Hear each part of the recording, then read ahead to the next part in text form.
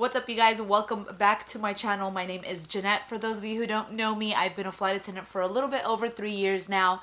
And in today's video, I want to talk about the coronavirus and how it's affecting the airline industry. If this is something that you would be interested in, then please keep on watching.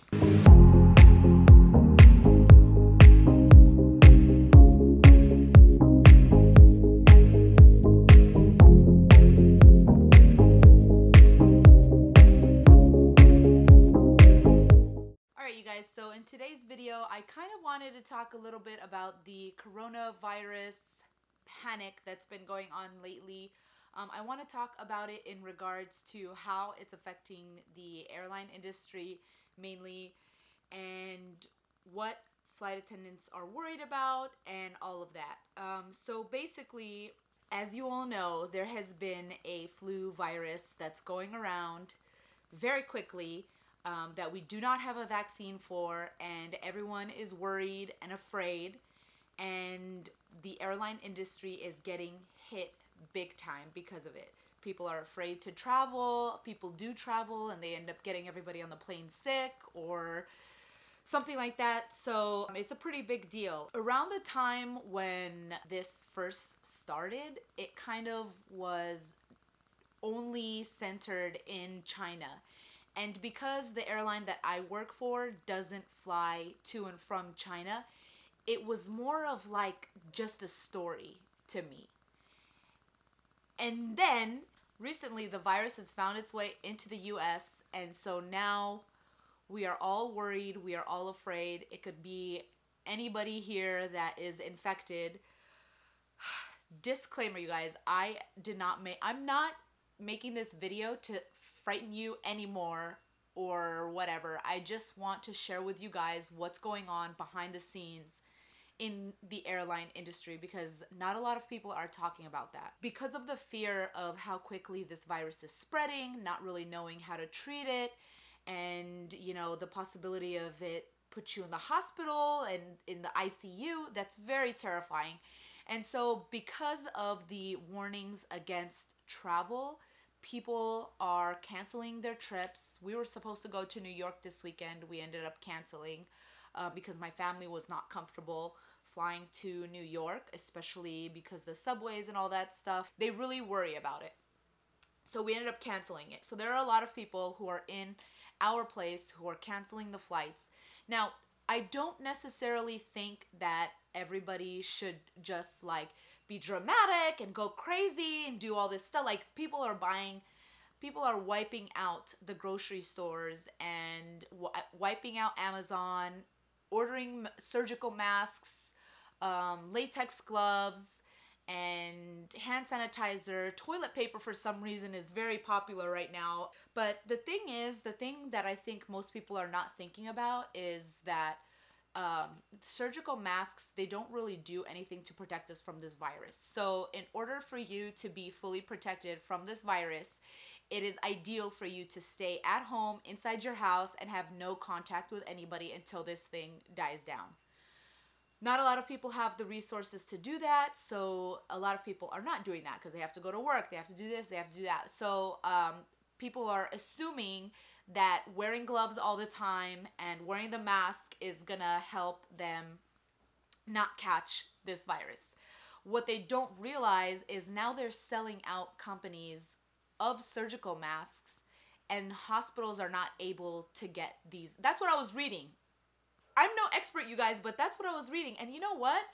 I would be terrified if the hospital that I go to ran out of surgical masks and protective latex gloves and sanitary items because that's a place that is going to make us better if we do get the virus. Anyways, that's besides the point. It is not my department, but you guys stop freaking out. Um, but it is it is a pretty pretty big deal. So for us, um, we just received an email like yesterday, maybe a couple hours before Trump made his uh, speech, and our company advised us of some changes that were going on. So obviously, people are afraid now of catching something, so they are you know, disinfecting their area, which is great. You should do that. a few of those changes are that um, we do uh, we we are going to have cleaning crews that well they're working on figuring out how they're going to implement cleaning crews to clean in between each flight. But the precautions that we are taking on the flight as flight attendants, um, I know that we are now allowed to wear gloves even during service. So if we are handing you beverages and items such as that, you know, we're wearing gloves. So there's some type of protection. I know some people don't necessarily agree with that. They're all about washing their hands and that's great, but you know what?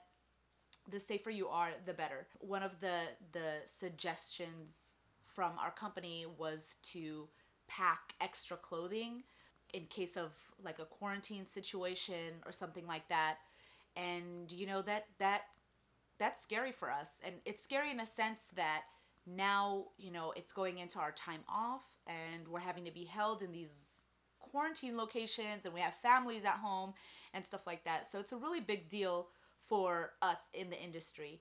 And um, not only that, but we are constantly exposed to people and stuff like that. So the more that passengers are aware of being sanitary, the better it is for everybody all around. And also, I'm sure the majority of you know, but the president has banned all travel to and from Europe um, with the exception of London. So that is a major thing for the airline industry. So there are a lot of flight attendants who mainly do Europe routes because of the pay or because of a family situation or for whatever reason a lot of flight attendants they do those routes and so now with the travel ban um, to and from europe there's a lot of flight attendants and a lot of airline companies that are having to cancel flights and reduce flying to certain areas. And it's affecting us it's affecting our livelihood. It's it's affecting us a lot. So our company is worried that we are going to go through a very tough time in terms of like whether we all would be able to fly and how much money we're going to make.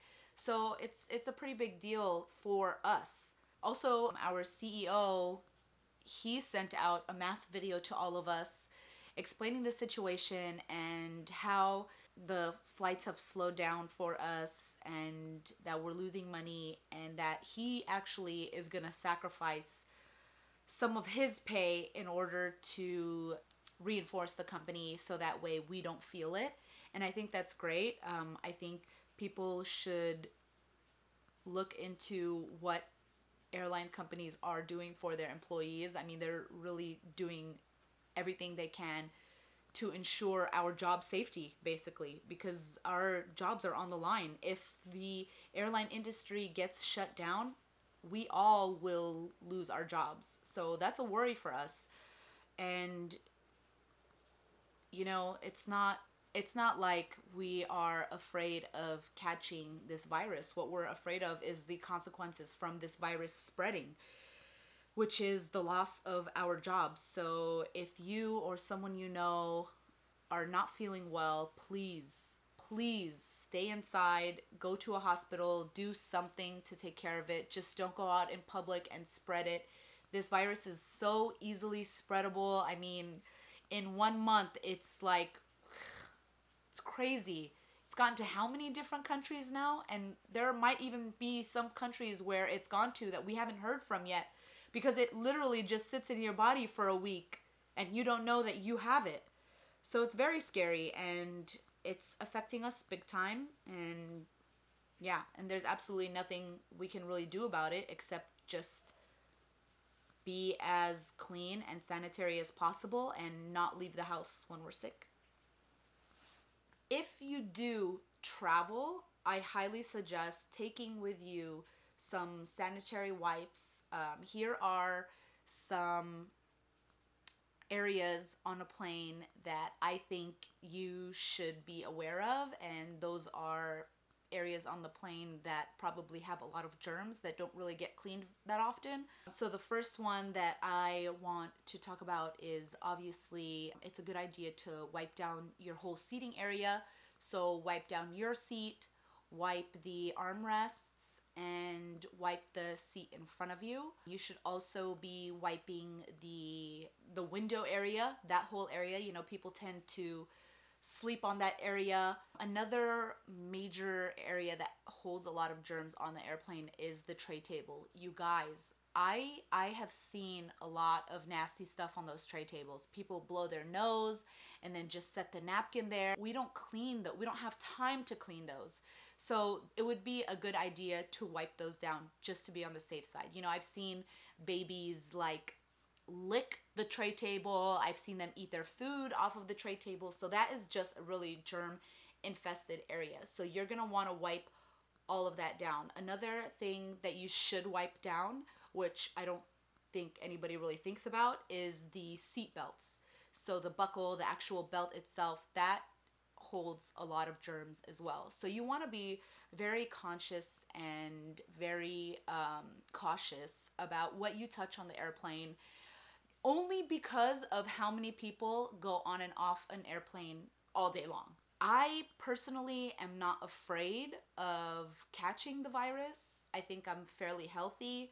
What I am afraid of is that I have the virus and that I give it to somebody who is not able to fight it or like somebody like my grandma or you know Nick's grandma so you guys just be careful and stay clean. You know, I was shocked at the information that I was reading on Facebook. Like, people were sharing instructions on how to clean your hands. Like, you guys, you should know how to do that. That should be common knowledge to everybody. Like, you clean your hands. You don't just, all right, rinse and then get out of the bathroom. No, like, it should be a full on 20 to 30 second thing of you scrubbing your scrub your palms in between your fingers, you know, from the tops, from the bottoms, get underneath your nails that has a lot of bacteria. And you know what? I don't see people do. You got to bring the soap up to your wrists cuz I see people do this all the time with their wrists. You got to make sure that area is clean. Like just be more aware. Try not to touch people, you know, as much as you want to go in to shake somebody's hand even a fist bump that's still skin to skin contact like just be very aware. I mean don't be rude to people obviously you know don't go and like but just be careful.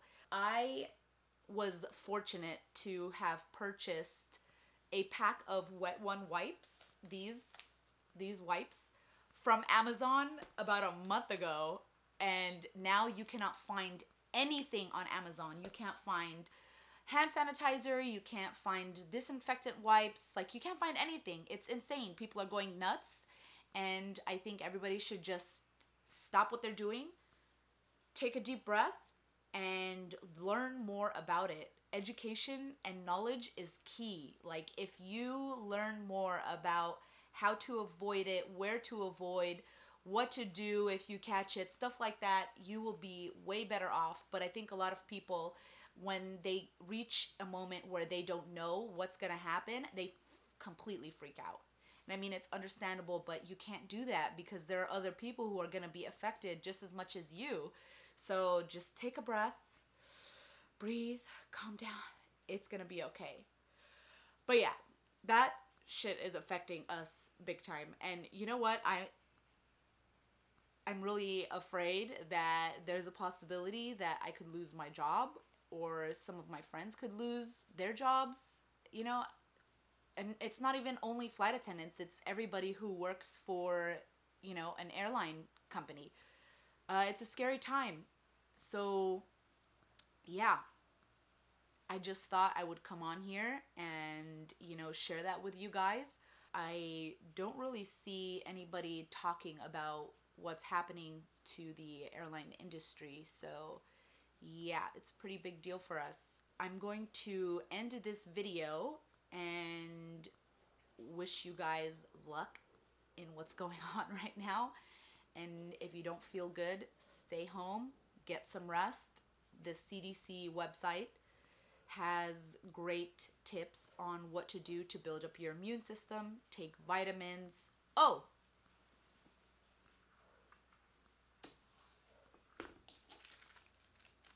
Also, if you guys go to the store, pick up some Emergen-C. This is an open pack. I had it yesterday. just the wrapper on the floor. But um, Emergen-C is really good. So this is just basically vitamin C supplements. I mean, you want to get as many vitamins as possible, builds up your immunity, and hope for the best, you guys. And if you feel sick, if you feel any symptoms, go to a hospital, get yourself checked out.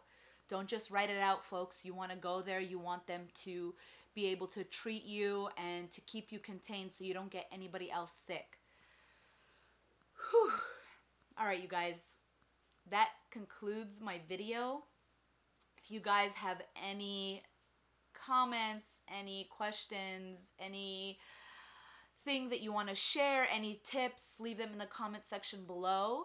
And hopefully we get through this thing in the best way possible and hopefully we pick up flying again. you guys, oh my god, I'm so okay. It kind of sucks because my bachelorette is gonna be in June, and I don't know when this is gonna be over. So, yeah, just be safe, just be careful, and yeah, that's all I got to say. I hope that the information that I gave you is informative. I hope you learned something about what we as flight attendants are going through. And yeah, keep us in your thoughts.